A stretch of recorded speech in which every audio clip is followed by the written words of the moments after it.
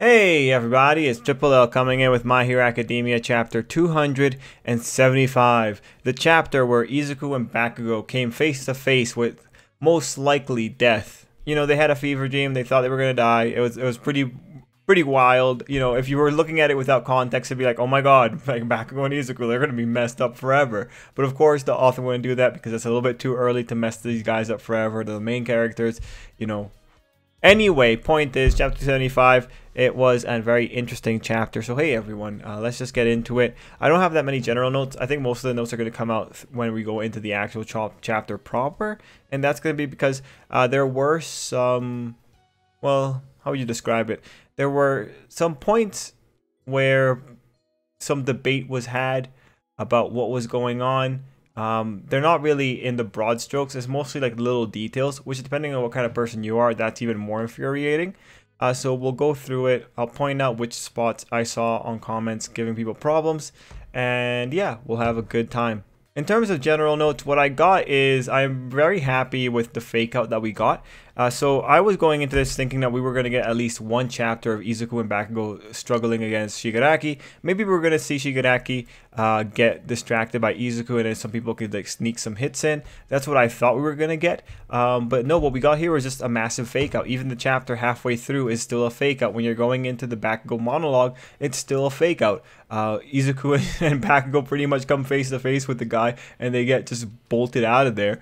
Um, so I really like that. I like that the heroes came in. I like that they're actually doing stuff. I like that they're competent. Um, I was expecting heroes to show up to help, obviously, but this quickly was a nice surprise.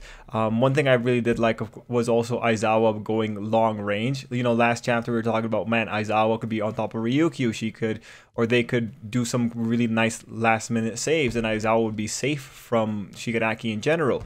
So I do like that we did get long range Aizawa. That was pretty cool. Like it's actually pretty cool seeing like how much he was looking at Shigaraki, who was a spec. So overall, did not expect it, but I'm very happy for it. Uh, and the most surprising part is really that uh, Izuku and Bakugo didn't get an opportunity to actually face down with Shigaraki and just got uh, well yanked out of there by Gran Torino.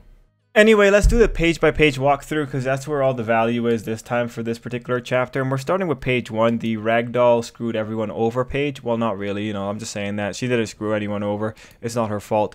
Uh, so this page gave us information on search, which was greatly appreciated. And it gave us a lot of other little things. The first thing I want to cover is who exactly are the nine lights that Shigaraki is seeing here? And the, way, and the reason I'm bringing this up is because who is the ninth light is the real question. And guys, I might be, well, I might not remember something, but here's my perspective. Shigaraki says that these are the people that Ragdoll had seen up to the moment that she had her quirk taken away, right? I went back to chapter, let me see what I got here, 258.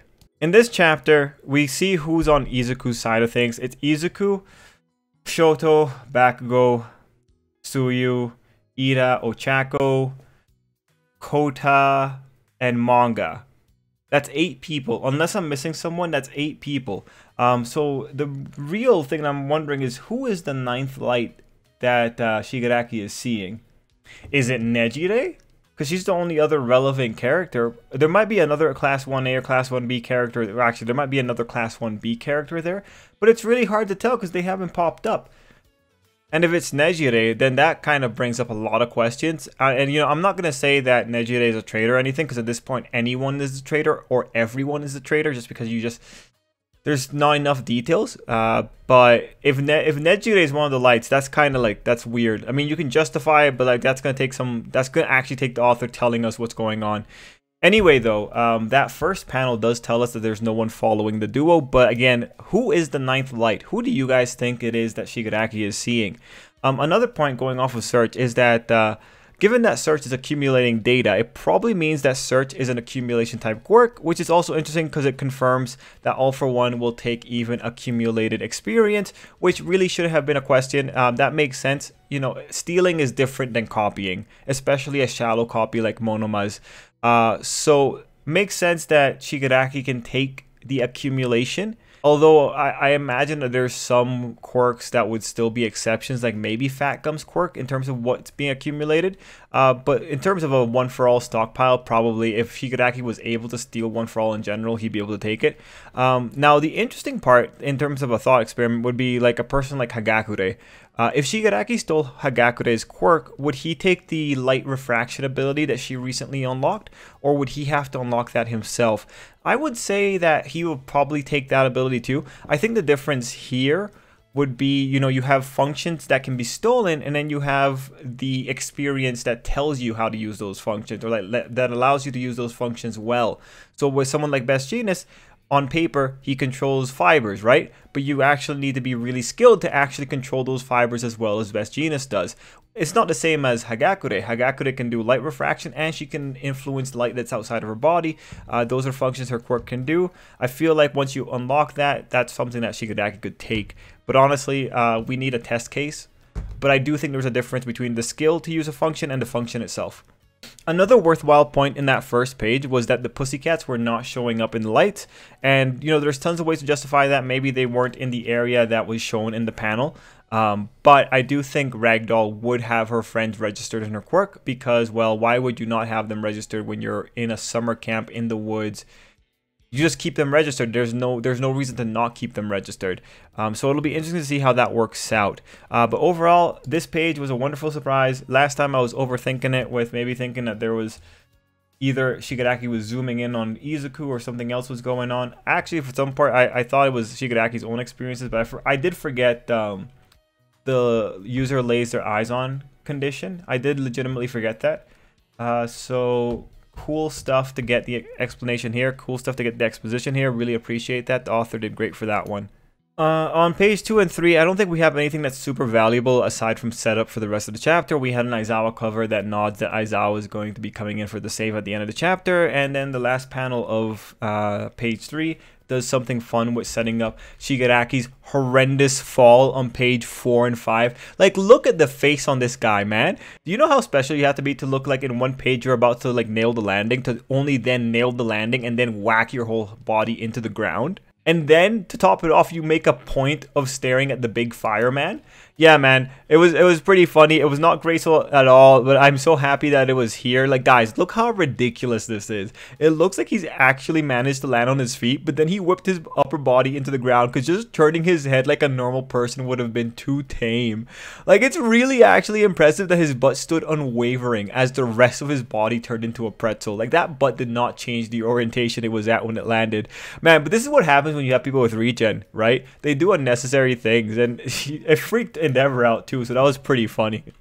Anyway, page 6 and 7, this is a page that has some debate surrounding it. But before we get to the debate, I want to say it does look like Izuku is actually hopping around, which means he doesn't have float well enough handled, which if you guys know, I was really hoping for a sublime float reveal. I was really hoping for it just to be like, yeah, Izuku's competent enough to figure out how to get float. But now it does look like we're going into a dramatic float reveal, which you know, whatever. It's just, you know, maybe Izuku has float. He might legitimately have it, uh, but he's not using it for some reason. I, I don't know, because this is the same page where Izuku just realized that Bakugo was chasing him after talking to him while they were going together. Uh, so maybe Izuku's having um, a little bit of a ditzy moment here.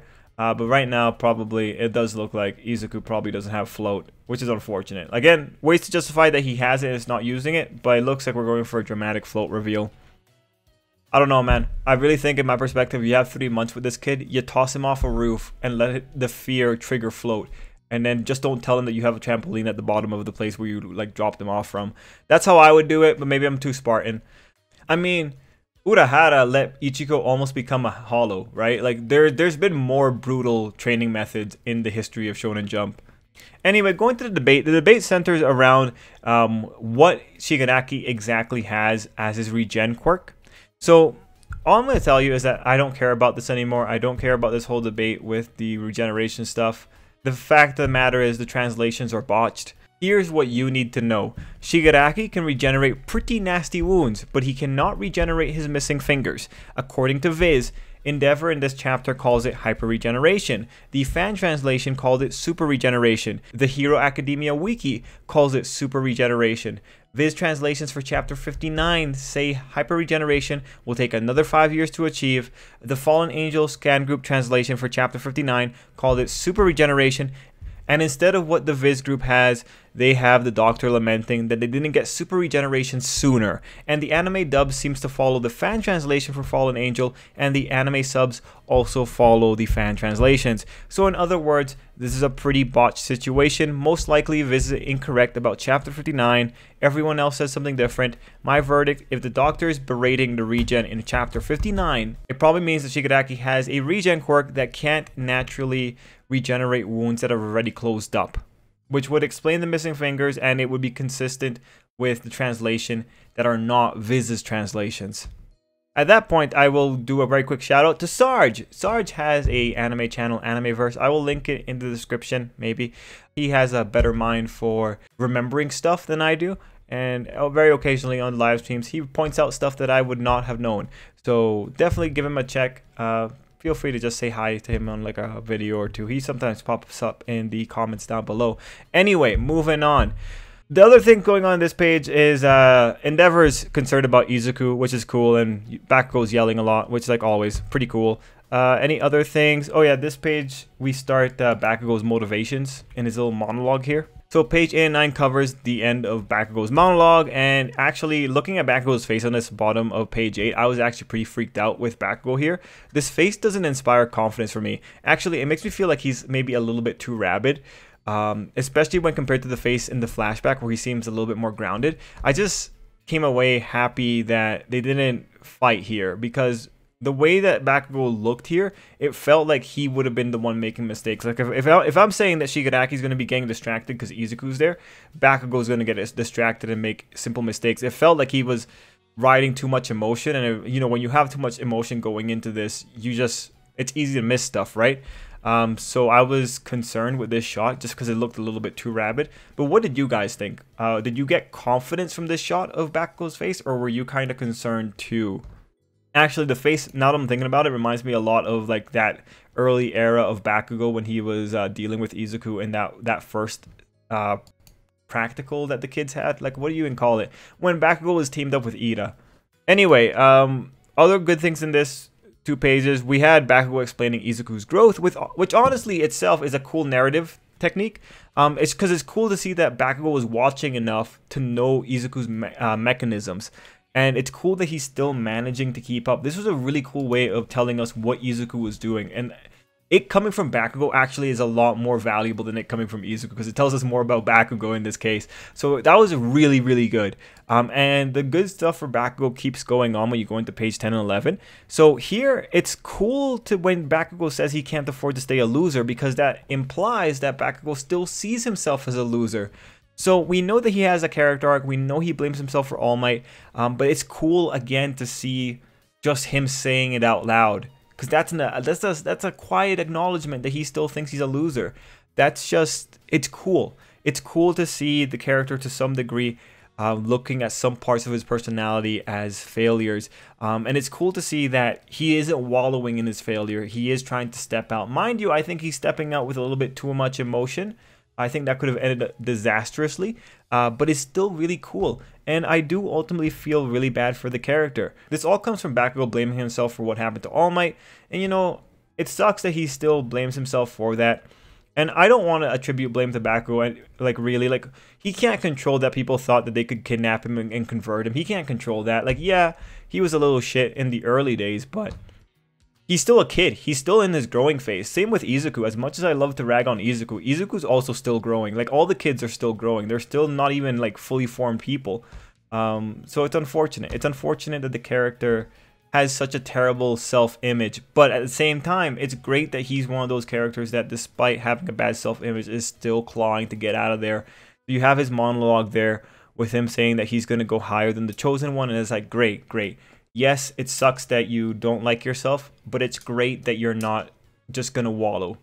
This is an aspect of Bakugo's personality that I think actually would be cool for people to emulate just because, again, he picks himself up by his bootstraps kind of thing. On page 11, uh, the most interesting thing is that we have Shigaraki muttering to himself, which again tells us that he's in the discovery phase of his powers.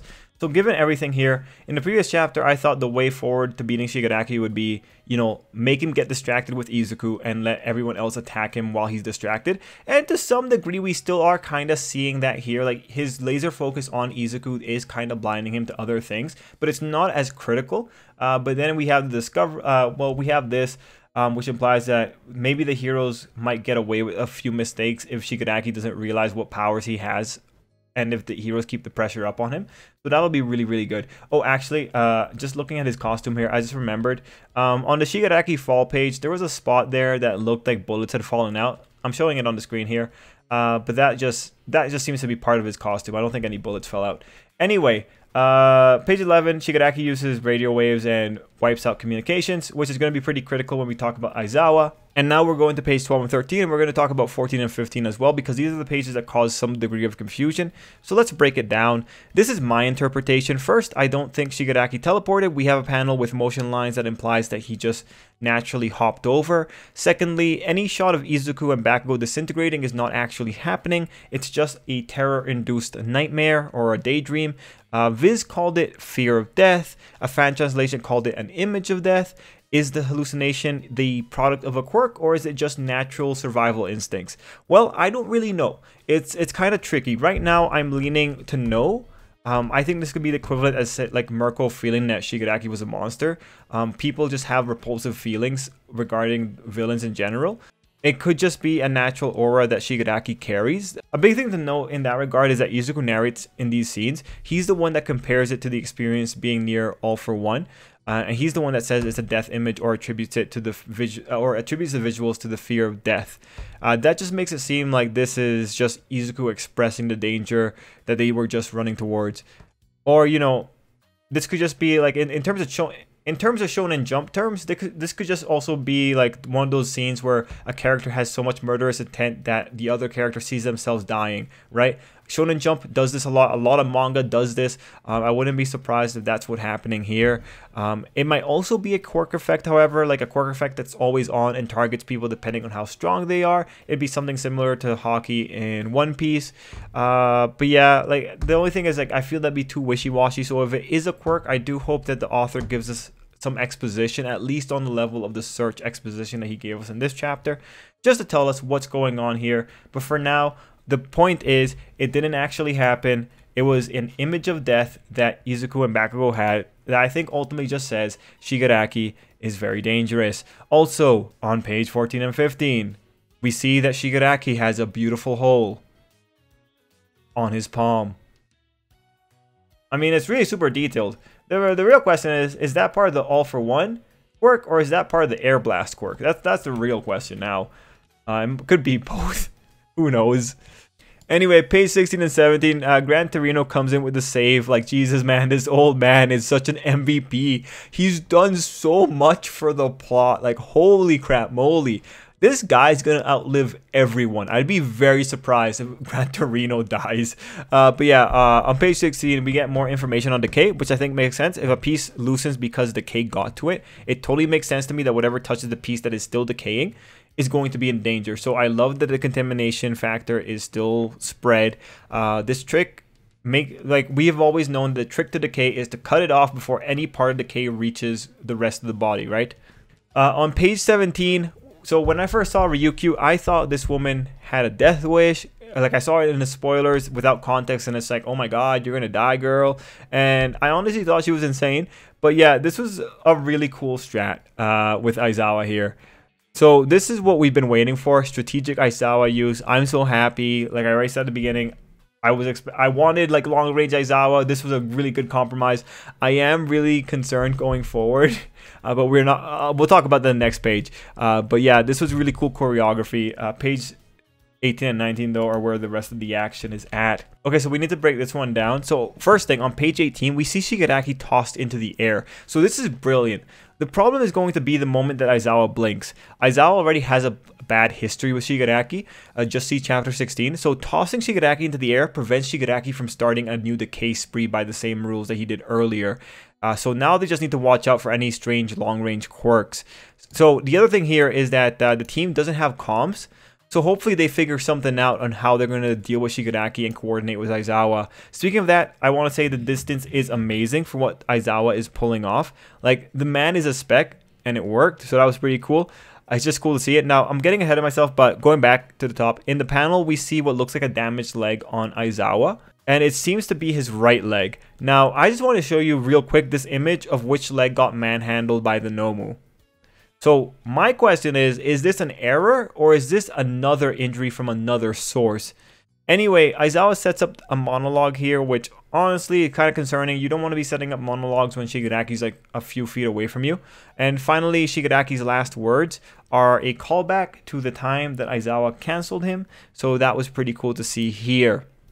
So we get to the end of the chapter. People are excited. What's going to happen? I don't know. Is Aizawa going to die? I hope not. Is Aizawa going to get quirk bulleted? That would be a nice compromise. Is Giganto going to come in here and wreck things like a madman? Most likely.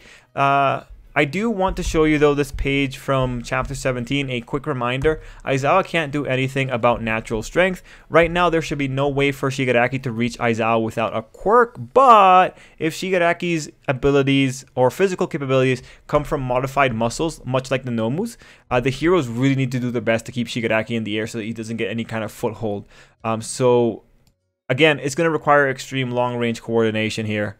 And honestly, maybe they can pull it off because already it's pretty insane that Aizawa timed it right with Ryukyu's attack. So at that distance where you can only see Ryukyu as a spec, honestly, that was timed really, really well. Like, how is Aizawa seeing that far?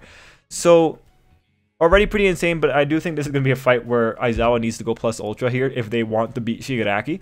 Uh, but going back to the muscle point, if Shigaraki is Hulk jumping by just the sheer strength of his modif of his scientifically modified muscles, then all the heroes are, are going to be in trouble. If this is going to turn into Aizawa versus the Nomu part 2, it's going to suck. Um, speaking of the past though, I do want to just very quickly talk about a point that came up a few weeks ago. People said that 13 might not get decayed because they are a black hole. Um, well, just looking back at the previous chapter, 13 has a back and arms that can be lacerated. So if those can be lacerated, they can probably be decayed unless there's some kind of weird mechanism going on with his body being the suit itself or something, or her body being the suit itself. Um, but yeah, I just think if, if 13 starts decaying, 13's laceratable back would also be in trouble too. Uh, but yeah, anyway, that's that's that's all I got. Any where do we go from here? I don't know. It's cool combat. I want Aizawa to live. Don't know what state he's gonna be in, and I do hope more heroes show up and make a show of these things. Uh, I hope deaths are kept to a minimum. Like if if we're gonna I, am okay losing a bunch of no names, but I hope we only lose one big name if it comes down to that. But again, it's going to be interesting to see how they're going to coordinate. And I think next week is a break, which is unfortunate, but it's COVID time. So let's let everyone take a break. Anyway, everyone, thank you so much for watching. And until next time, I hope you have an absolutely great day.